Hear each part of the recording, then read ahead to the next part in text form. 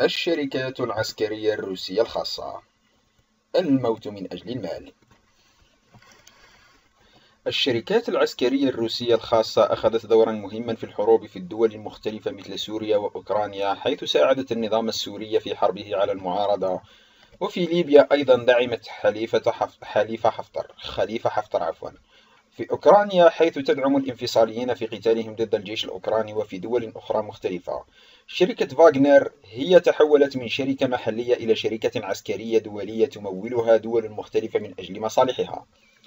روسيا سوف تستفيد في السنوات القادمة كثيرا من الشركات العسكرية الروسية الخاصة لأنها ترى بأن هذه الشركات فعالة أكثر على أرض الواقع ولديها إمكانيات أكثر في العمليات المختلفة سيرجر بريغوجين طباخ بوتين هو من أسس شركة فاغنر وبريغوجين لديه الكثير من المشاريع الاستثمارية لسوريا وليبيا حيث يستخدم عناصر فاغنر لبسط السيطرة على البلدان التي تتواجد فيها للحصول على فرص استثمارية في هذا البلد.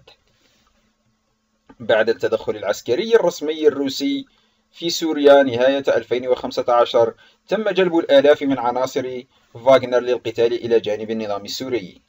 شركة فاغنر منبثقة من شركة الفيلق السلافي المرخصة في هونغ كونغ ونشطت في سوريا منتصف 2013 خصوصا في مدينة دير الزور حيث شنت عدة عمليات ضد المعارضة وتنظيم الدولة الإسلامية. الهدف الوحيد لهم كان هو للسيطرة على حقول النفط وحمايتهم من الهجمات الخارجية والحفاظ عليهم لكي تبقى لهم موطن قدم في المنطقة في المستقبل. وتعرف شركة الفيلق السلافي نفسها تعرفها على أنها شركة عسكرية خاصة أسسها أشخاص محترفون وضباط احتياط لديهم مهارات قتالية عملية وقيادية عالية. وتقوم بأداء مهام في المناطق المعرضة للخطر ولا سيما في أماكن العمليات العسكرية حيث تكون مهام الشركة وموظفيها هجومية رادعة وقائية وهذه المهام تكون لصالح القوات العسكرية الرئيسية في البلاد. تعتمد أنشطة الشركة على القانون الروسي وقوانين البلدان التي تحمي مصالح الشركات الروسية ولتنفيذ عمليات محددة داخل دولة ما. قمنا بتشكيل فريق خاص من ضباط المهمات الخاصة السابقين. الشركات العسكرية الروسية الخاصة ازداد دورها منذ بدء العمليات ضد تنظيم الدولة والمنافسة بين روسيا والولايات المتحدة من أجل السيطرة على حقول النفط في محافظة دير الزور. لأن أغلب المواجهات المباشرة أو غير المباشرة حدثت في محافظة دير الزور بسبب أهميتها الاستراتيجية وتمركز أغلب حقول النفط فيها لكن لماذا يذهب الشباب الروس للقتال في الشركات الروسية الخاصة؟ صعب الجواب ما هي الأسباب؟ ولكن أغلب التقارير رجحت بأن أغلب المرتزقة جاءوا من مناطق فقيرة في روسيا وأغلبهم لديهم مشاكل مالية وإمكانية القتال. تعطي لهم الكثير من الأموال. ما يقارب من ثلاثة إلى أربعة آلاف مليار أربعة آلاف دولار أمريكي في الشهر.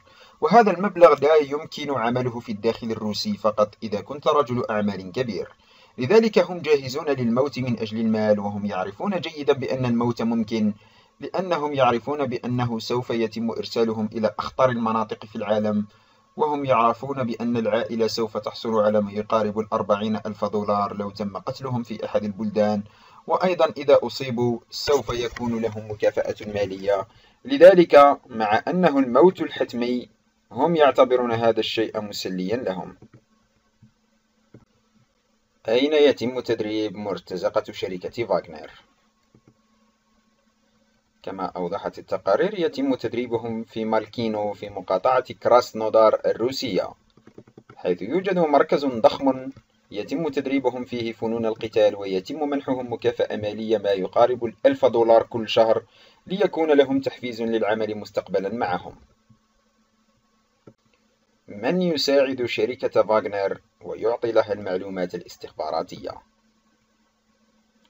مديرية المخابرات الرئيسية الروسية هي التي تعطي المعلومات الاستخباراتية للشركة لأن أغلب قيادات في المجموعة العسكرية أعضاء المخابرات الرئيسية وهم لديهم العلاقات والمعلومات الاستخباراتية الكاملة بخصوص كل منطقة يتم إرسال المرتزقة إليها.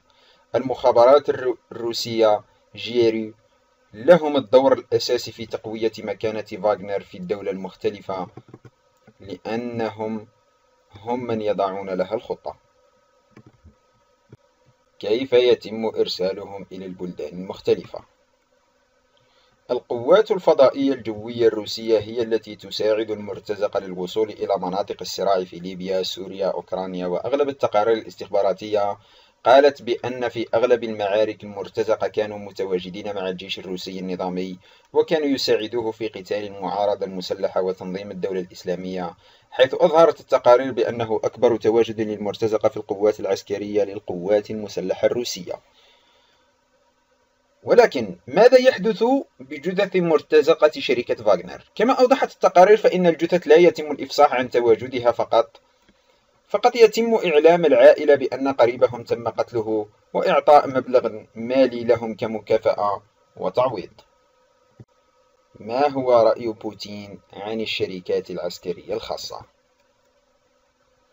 الرئيس الروسي فلاديمير بوتين قال ردا على سؤال حول وجود عسكريين متعاقدين روس روس في ليبيا قال حتى إذا كان هناك مواطنون روس فإنهم لا يمثلون مصالح الدولة الروسية ولا يحصلون على أي أموال منها. وأضاف أيضا هناك كثير من المرتزقة المختلفين في منطقة النزاع بما في ذلك حسب المعلومات التي تتوفر لدينا. عدد كبير من المسلحين الذين تم نقلهم إلى ليبيا من منطقة خفض التصعيد في إدلب بسوريا. هذه العملية خطيرة جدا. وقال ديمتري بيسكوف المتحدث باسم الكريملين أن الشركات العسكرية الخاصة في الاتحاد الروسي خارج القانون ولم يسمع بوجودها. شركة فاغنر سوف يكون لها دور أكبر في الحروب المختلفة التي يوجد فيها دور لروسيا حيث يسعى أصدقاء بوتين عبر استعمال شركة فاغنر كأداة لحماية الأنظمة الدكتاتورية في البلدان العربية وأيضا حماية المركز الهام لروسيا حيث تسعى الشركات عبر الدفاع عن الأنظمة للحصول على الموافقة من أجل الاستثمار والسيطرة على المراكز التجارية الحساسة.